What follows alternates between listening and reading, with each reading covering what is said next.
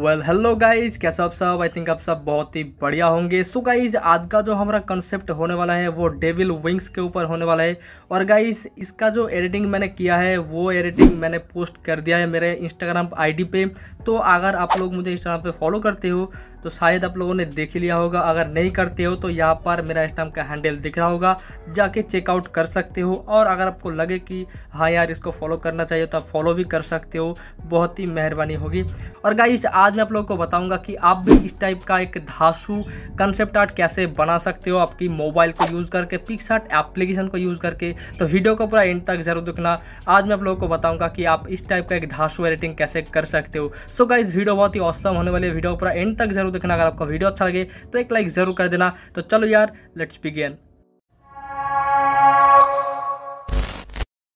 so guys इस editing को करने के लिए जैसे कि मैंने आप लोगों को बताया कि हम पिक्सार्ट एप्लीकेशन का यूज़ करेंगे तो पिक्सार्ट एप्लीकेशन को मैंने यहाँ पर ओपन कर लिया है। ओपन करने के बाद यहाँ पर जो प्लस का आइकन दिख रहा होगा, इसके ऊपर आपको क्लिक करना है। क्लिक करने के बाद जो फ़ोटो, जो बैकग्राउंड आप सबसे पहले यूज़ करना चाहते हो, उस बैकग्राउंड को यहाँ पर लेके आना है सबसे पहले। तो यहाँ पर मैं ऑल फ़ोटोज़ के ऊपर क्लिक करूँगा और जो बैकग्राउंड मैं इस एडिटिंग के लिए यूज़ करूँगा, उस बैकग्राउंड को मैं सबसे पहले यहाँ पर ओपन कर लूँगा। ठीक है? तो यहाँ पर जो बैकग्राउंड था, उसको मैंने यहाँ पर ऐड कर दिया है। उसके बाद हम जाएँगे यहाँ पर ऐड फ़ोटोज़ में। ठीक है? उसके बाद जो सबसे पहले हम ऐड करेंगे वो है विंग्स तो विंग्स को हम यहाँ पर ऐड कर देंगे। तो यहाँ पर मिसो अच्छी तरीके से यहाँ पर एडजस्ट कर देंगे ओके देन यहाँ पर कर देंगे डन ओके उसके बाद हम फिर से जाएँगे ऐड फ़ोटो में। ऐड फ़ोटो में जाने के बाद यहाँ पर एक जो है मॉडल का फ़ोटो जो मेरा फ़ोटो है, मेरा कटआउट वो मैं यहाँ पर ऐड करूँगा। तो आप भी बहुत ही अच्छी तरीके से आपकी फ़ोटो की बैकग्राउंड को रिमूव कर लेना। उसके बाद ठीक इसी पोजीशन में आपको ऐड करना है, जैसे कि आप देख सकते हो। और एक आप लोगों को ट्रिक बता देता हूँ कि आप आपकी फ़ोटो को कटआउट करने से पहले आप आपकी फ़ोटो को थोड़ा सा रिटचिंग कर लेना, आपके बैकग्राउंड से मैच करके थोड़ा सा रिटचिंग कर लेना लाइट से, ठीक है? उसके बाद जो भी फेस को स्मूथ करना है, वो वगैरह आप सब कुछ कर सकते हो। उसके बाद आप कटआउट करोगे। तो जब आप फ़ोटो को आपके बैकग्राउंड के साथ लगाओगे तो आप देख सकते हो जैसे कि बहुत ही अच्छा मैच कर रहे हैं। सबसे पहले देखो आप मैच कर रहे हैं। तो इसके बाद जब एडिटिंग कंप्लीट हो जाएगा पिक्सट में, उसके बाद हम जब रिटचिंग करने के लिए फिर से जाएँगे लाइट रूम में तो वहाँ पर क्या होगा कि हमको ज़्यादा एडिटिंग ज़्यादा रिटचिंग करने की कोई ज़रूरत नहीं होगी और हमारा फ़ोटो जो है कम रिटचिंग के बाद बहुत ही अच्छा लुक में आ जाएगा। तो इस ट्रिक को ज़रूर से अप्लाई करना, बहुत ही बढ़िया ट्रिक है। तो गाइज़ उसके बाद हम फिर से जाएँगे ऐड फ़ोटो में। ऐड फ़ोटो में जाने के बाद एक जो है मैं स्मोक मास्क यहाँ पर ऐड कर दूँगा। और इसको रियलिस्टिक लुक देने के लिए देख सकते हो आप बहुत ही बड़े लग रहे हैं। पहले कैसा था ये फ़ोटो देखो। और जब मैंने स्मोक मास्क यहाँ पर ऐड किया तो बहुत ही धासु लग रहा है। उसके बाद कर देंगे? डन ओके उसके बाद हम फिर से जाएँगे ऐड फ़ोटो में। उसके बाद जो विंग्स का जो रिफ्लेक्शन है जो आ, हमारा जो बैकग्राउंड में मून है। मून का जो रिफ्लेक्शन है, वो यहाँ पर ऐड करना है। आप देख सकते हो मेरा जो हेड है हेड के ऊपर और विंग्स के ऊपर ये ऐड हो रहा है।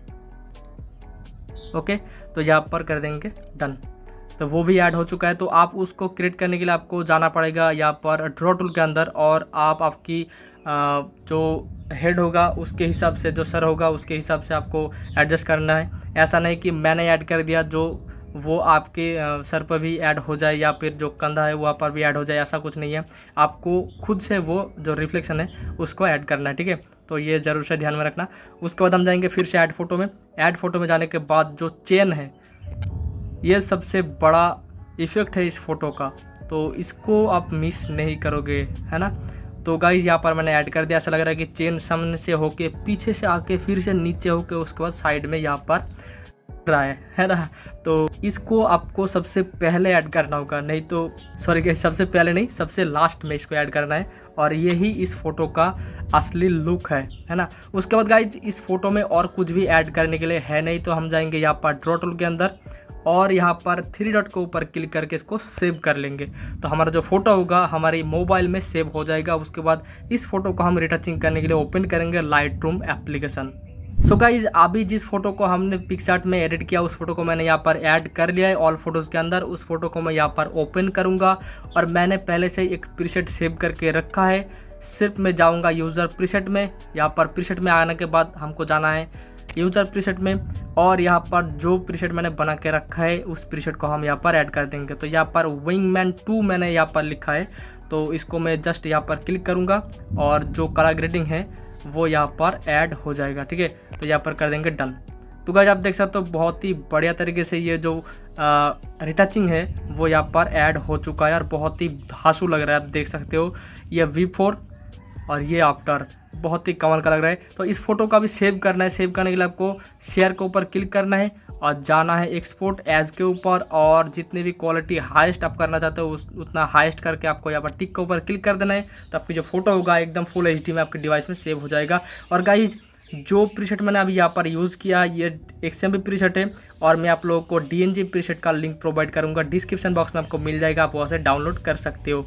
सो so गाइज़ कैसा लगा आपको वीडियो आप मुझे नीचे कमेंट करके बता सकते हो। अगर आपको अच्छा लगा हो तो एक लाइक ज़रूर कर देना।